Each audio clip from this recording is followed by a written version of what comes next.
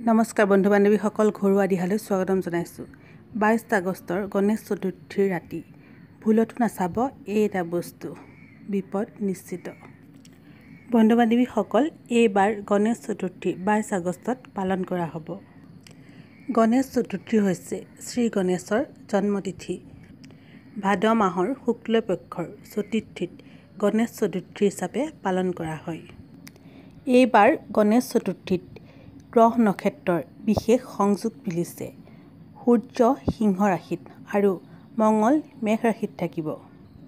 সূৰ্য আৰু মঙলৰ এই যোগ এশ ছাব্বিছ বছৰ পাছত মিলিছে। এই যোগক কষ্ট নিবাৰণ যোগ বুলি কোৱা হয়। গণেশ চতুৰ্থীৰ দিনা গণেশ বাবাৰ পূজা অৰ্চনা কৰিলে সকলো দুখ কষ্ট দূৰ হয়।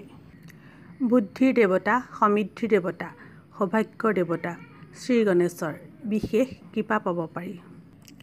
কিন্তু এই গণেশ চতুৰ্থীৰ ৰাতি ভুলতো এটা বস্তু চাব নালাগে। ইয়াৰ ফলত আপোনাৰ জীৱনলৈ বহুতো সমস্যা আহিব পাৰে। আজিৰ এই ভিডিঅ'ত সেই বিষয়ে ক'ম। বন্ধু বান্ধৱীসকল ভিডিঅ'টো চাই ভাল লাগিলে এটা লাইক কৰিবলৈ নাপাহৰিব। ঘৰুৱা দিহা চেনেলটো যদি প্ৰথমবাৰলৈ চাইছে চেনেলটো ছাবস্ক্ৰাইব কৰি ল'ব আৰু কাষতে থকা বেল আইকনটো প্ৰেছ কৰি দিব। যাতে আহিব লগা নতুন নতুন ভিডিঅ'বোৰ প্ৰথমেই চাব পাৰে।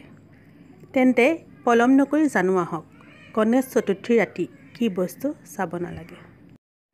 বন্ধু বান্ধৱীসকল গণেশ চতুৰ্থীৰ ৰাতিক কলংক চতুৰ্থী ৰাতি বুলিও কোৱা হয়।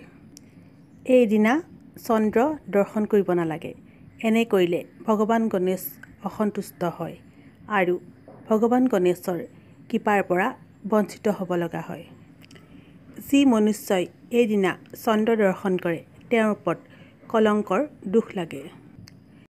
গণেশ পুৰাণ অনুসৰি গণেশৰ শুৰ থকা মুখ দেখি চন্দ্ৰই হাঁহিছিল। ইয়াৰ ফলত গণেশ ক্ৰোধিত হৈ শাপ দিছিল আৰু কৈছিল যে তুমি তোমাৰ সৌন্দৰ্যৰ কাৰণে বহুত অহংকাৰ কৰিছা।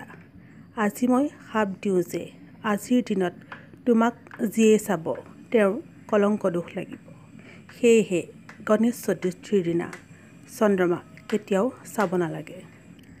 যদিহে এইদিনা ভুলবশতঃ চন্দ্ৰ দৰ্শন কৰে তেন্তে ভগৱান গণেশৰ মন্ত্ৰ শ্ৰী গণেশেই নমঃ বা ওম গণ গণপতিয়ে নমঃ যিমানবাৰ পাৰে সিমানবাৰ জপ কৰিব। বন্ধু বান্ধৱীসকল ভিডিঅ'টো চাই কেনে লাগিল? কমেণ্ট কৰি জনাবচোন। তেনেহ'লে আজিলৈ আহোঁ।